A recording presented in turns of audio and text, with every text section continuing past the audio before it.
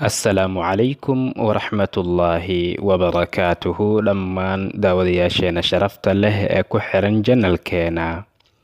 nebiyullaahi yaxyaa calayhi salaam qisadiisa waxay bilaabatay markii uu aabbihiisa oo ahaa nebiyullaahi zakariya calayhi salaam uu alle subxaanahu watacaala ka baryay inuu wiil ku irsaaqo iyadoo ay waayeeloobeen isaga iyo xaaskiisuba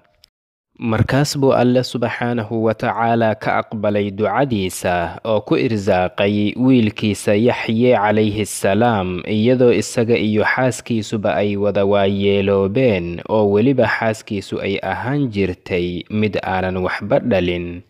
Nebiyullaahi yaxyaa calayhi salaam dhalashadiisa ayaaba waxay ahayd mid mucjiso ah.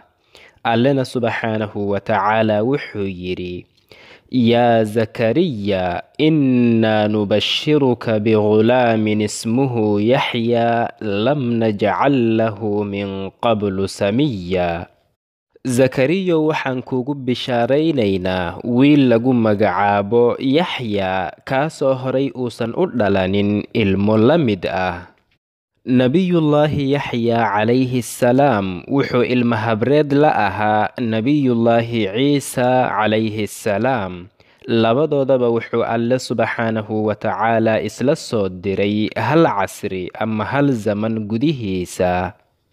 wuxuu alle subxaanahu watacaala nebi yaxye calayhi salaam nebinimada siiyey isagoo aad u yar wuxuuna ku amray inuu towraad gaarsiiyo qowmkiisa oo uu dadka ugu yeero in ay caabudaan alle subxaanahu watacaala keligiisa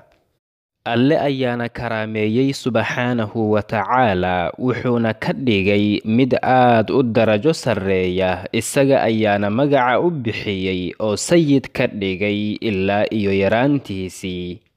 wuxuuna nebi yaxye calayhi salaam ahaa mid ay si aad ah u jeclaayeen qowmkiisa iyo dhammaan makhluuqaadka wuxuuna si deggan oo naxariis leh ugu yeeri jiray cibaadada alle subxaanahu watacaala markaas bay dhammaantooda wada jeclaadeen oo dacwaddiisana qaateen wuxuuna calayhi salaam noloshiisa ku dhammaystay cibaado iyo inuu dadka ugu soo yeero alle subxaanahu watacaala xaggiisa. Wuxuuna ahaan jiray mid aad u duco iyo cibaado badan wuxuuna ahaa mid aad u khushuuc badan oo alle isku dulleeya subxaanahu watacaala hamigiisa keliya ee uu nolosha ka lahaana wuxuu ahaa raalligelinta alle subxaanahu watacaala iyo badbaadinta addoommadiisa.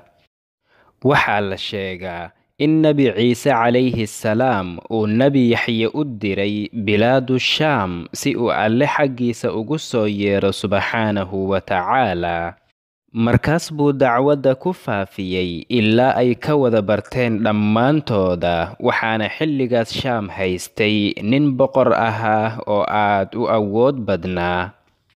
Boqorkan ayaa waxaa gurigiisa ku noolaan jirtay oo uu mas'uul ka ahaa gabar uu dhalay walaalkiisa taasoo uu aad u jeclaaday oo uu caashaqay ilaa uu ka damcay inuu guursado balse wuxuu ogaa in guurkeedu uusan u bannaanayn maxaa yeelay wuxuu alle subxaanahu watacaala ooga xarrimay towraadka dhexdiisa. Maalin maalmaha ka mid ah ayuu boqorkan u yeedhay nebi yaxye calayhi salaam isagoo doonayay inuu u iftoodo inuu guursan karo gabadha uu dhalay walaalkiisa balse wuxuu nebi yaxye calayhi salaam oogu jawaabay kuuma bannaana kuuma bannaana. Balse jacaylka uu boqorkan u qaaday gabadhan ayaa dhexdegay wadnihiisa oo kama aysan go'in qalbigiisa waxayna ahayd gabar aad u shar badan oo aad u dhagar badan markii ay ogaatay wixii dhacay ayay waxay dhagar u maleegtay nebiyullaahi yaxyaa calayhi salaam. Wuxuu boqorkan lahaan jiray caado uu samayn jiray maalin walba taasoo ahayd in uu maalin walba gabadhan u oggolaan jiray in ay ka dalbato hal shay kadibna wuxuu u fulin jiray wixii ay dalbato waxay ahaadaanba markii gabadhan hooyadeeda ay ogaatay wixii uu sameeyey nebi yaxye calayhi salaam ayay gabadheeda waxay ku tidhi markaad u tagto boqorka oo uu ku weydiiyo waxa aad doonayso waxaad ku tidhaahdaa waxaan doonayaa in la ii gowraco yaxya binu zakariya kadibna markii ay gabadhu u tagtay boqorka oo uu weydiiyey waxa ay doonayso ayay waxay ku tidhi waxaan u baahanahay in la ii gowraco yaxya ibnu zakariya. Markaas buu boqorkii wuxuu ku yidhi waxaan taas ahayn i weydiiso. Waxay tidhi wax kale kuma weydiisanayo markii ay ka biyo diiday in ay beddesho dalabkeeda oo ay ka jeesatay jacaylka uu u qabay gabadhan awgeeda ayuu wuxuu boqorkii nebi yaxye calayhi salaam ugu soo yeedhay qasrigiisa. Kadibna wuxuu dalbaday in loo keeno weel aad u weyn markii weelka loo keenay ayuu ciidankiisa ku amray in ay gowracaan nebi yaxye calayhi salaam oo ay dhiiggiisana weelka u dhigaan. Balse dhibic ka mid ah dhiiggiisa ayaa dhulka ku dhacday markaas buu nebi yaxye calayhi salaam dhiiggiisa isku beddelay mid karkaraya oo taagan oo aanan degaynin ilaa uu alle subxaanahu wa tacaalaa boqorkan iyo ahalkiisaba ku salliday boqor kale oo duulaan ku soo qaaday.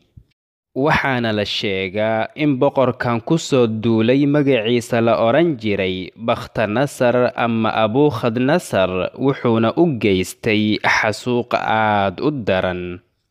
kadibna waxaa boqorkan u timid haweenay duq ahayd oo ka mid ahayd banu israa'iil. Markaas bay waxay bakhtanasar tustay meeshii uu yaallay dhiiggii karkarayay. Wuxuu yidhi wuxuu alle subxaanahu wa tacaalaa qalbigiisa ku ilhaamiyey oo geliyey in uu dhiiggaas korkiisa ku daadiyo dadkii boqorka raacsanaa dhiiggooda ilaa uu dhiiggu ka dego markaas buu wuxuu halkaas ku dilay toddobaatan kun oo qofood oo ka mid ahaa boqorkan la dilay dadkii raacsanaa ilaa uu dhiiggu ka degay. Riwaayad kale ayaa waxay sheegaysaa in gabadhani ay boqorka ka dalbatay in uu u keeno nebi yaxye calayhi salaam madaxiisa wuxuu yidhi markaas buu nebi yaxye calayhi salaam madaxiisa intuu qaaday horteeda dhigay. Kadibna markii ay galabaysteen ayuu alle subxaanahu wa tacaalaa dhulka la jaray boqorkaas iyo ahalkiisa iyo wixii ka agdhowaa dhammaantooda isaga oo oga aargudayay nebigiisa oo iyagana ku ciqaabayay ka hor inta uusan ku sallidin boqorkan ku duulay oo qoomkiisana laayay nebiyullaahi yaxya calayhi salaam wuxuu maqaam sare ku leeyahay alle subxaanahu wa tacaalaa agtiisa waxaana arrintaas dhowr meelood ku sheegay nebigeena muxamed calayhi salaatu wassalaam ibnu wahab ayaa waxaa laga wariyey in uu yidhi rasuulka sala allahu calayhi wasalam ayaa maalin ku soo baxay asxaabtiisa iyagoo ka sheekaysanayay fadliga ay leeyihiin ambiyada. Midkood baa wuxuu yidhi nebi muuse calayhi salaam waa kaliimullah ama wuxuu la hadlay alle subxaanahu wa tacaalaa mid kalaa wuxuu yidhi nebiyullaahi ciisa calayhi salaam waa ruuxullaahi wa kalimatuh. Mid kalaa yidhi nebiyullaahi ibraahiim calayhi salaam wuxuu ahaa khaliilullah iyagoo arrintaas ka sheekaysanaya ayuu nebigu sala allahu calayhi wasalama ku yidhi aaway shahiidkii uu dhalay shahiidku oo xidhan jiray maqaarka oo geedahana cuni jiray isagoo dembi iska ilaalinaya. Ibnu wahab wuxuu yidhi wuxuu ula jeeday yaxya ibnu zakariya calayhi salaam sidoo kale waxaa ibnu cabbaas radiallahu canhu laga wariyey in rasuulku sala allahu calayhi wasalama uu yidhi ma jiro qof ka mid ah aadam carruurtiisa ilaa wuxuu sameeyey khalad ama wuxuu ku hamiyey inuu sameeyo markii laga reebo yaxyaa binu zakariya sidoo kale qofna uma bannaana inuu yidhaahdo anaa ka khayr badan yuunus ibnu muta. Waxaan filayaa inaad ka wada faa'iidaysateen muuqaalkan. Haddii aad ka faa'iidaysatay fadlan ha iloobin inaad like saarto oo aad la sii wadaagto asxaabtaada. Haddii aad inagu cusub tahayna fadlan ha iloobin janalka inaad sabskribe saarato si aad inoo dhiiro geliso gambaleelkana furo si ay kuu soo gaaraan muuqaaladeena